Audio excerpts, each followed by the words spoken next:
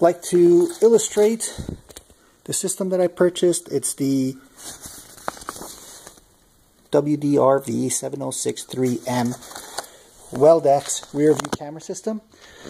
So what I wind up doing is I'm going to just step back and I just basically hook it up as if you were in your car or your truck. You know, so what you have is your rear view camera, your camera off to the right, and I don't have a third camera, but it would be here. Um, the system came with two, everything you really need to set it up, all the wires, everything. So let me just uh, show you quickly how I hooked it up uh, temporarily, just to give you an idea of how your system might work when you hook it up. So there's a wire that comes out of the monitor here that has all this connected to it. So what you have is your input from your rear camera, you have an input from your right camera, and you have an input from the left camera. Okay, I don't have anything hooked up to this one because um, I didn't buy uh, separately another camera. But you see you have the four male inputs and these wires, they come with the uh, female end and they basically just screw together. So you got a screw on this side and you have a screw on this side and they positively lock. You can lock and unlock as you need to, if you need to. Um, okay, another thing with the wires is that system comes with, uh, again, the, through this main harness that comes out of the monitor is a positive and a negative. So I hooked it up directly to the battery. Um, what I'm going to do when I hook it up to my vehicle is hook it up to a source that provides um, positive um, power only when the ignition is on or the, you know the engine's running.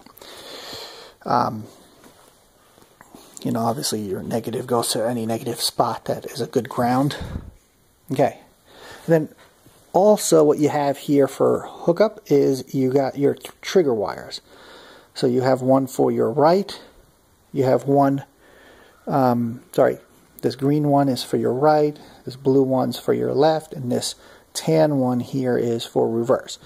So it basically tells the system when you're in reverse or when you have your right blinker or left blinker on and it turns the right camera on. Well, not necessarily turns it on, it actually feeds the right signal um, to your monitor. So here, for example,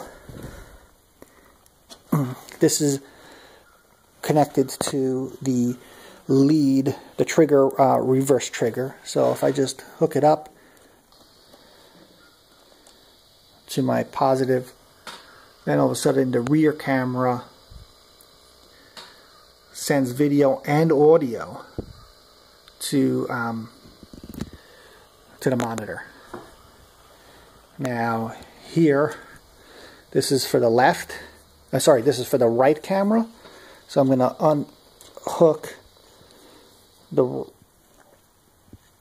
the rear. I'm going to hook up the right, and there the camera switches to the right and shows what's um, what's being picked up by the right camera. Now, let's say you have your right blinker on and you put it in reverse at the same time.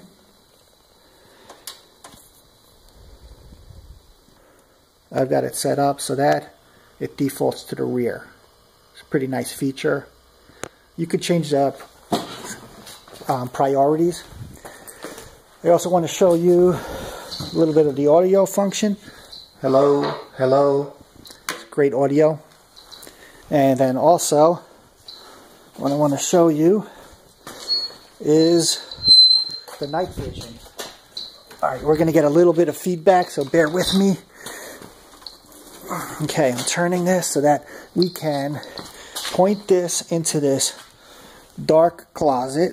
Okay, so this camera, here we go, going into the dark closet, and that's what we see. Pretty good night vision.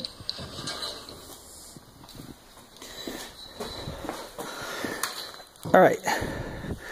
Now I was reading the manual. It's supposed to come with a remote. I didn't see a remote. So I don't know. I might have to call the company.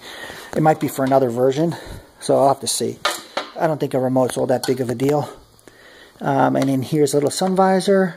Just clips on. The mounting bracket's excellent. Very sturdy. You've got this that rotates, lets you rotate it left and right. Okay, and you've got this adjustment up and down. Then you could fine tune it a bit here in the back. So I really enjoyed it. A couple other quick features that you might be interested in. Okay, I'll just flip through these.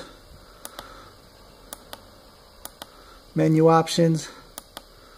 Okay, what I really like here is, let me, uh, let me get there. So here, I'm going to turn the mirror function on, on. So now what you're seeing is, it's flipping. It's hard to, actually, that was the wrong monitor that I'm playing with. So let me get there. Okay, so here, the mirror feature is actually was on already.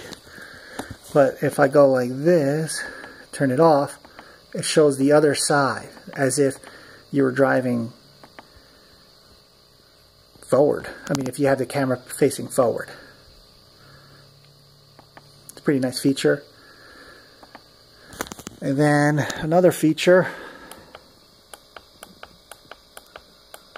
is if you have your monitor set up in an awkward position, it have to be upside down, you can actually flip the screen upside down. It's pretty nice. And then that's pretty much your menu, uh, all your menu options. So anyway, hope you enjoyed.